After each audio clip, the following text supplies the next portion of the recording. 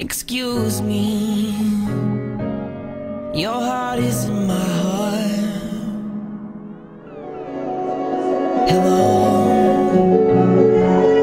You've taken this too far. Am I just a piece of push in your board game? Have you met?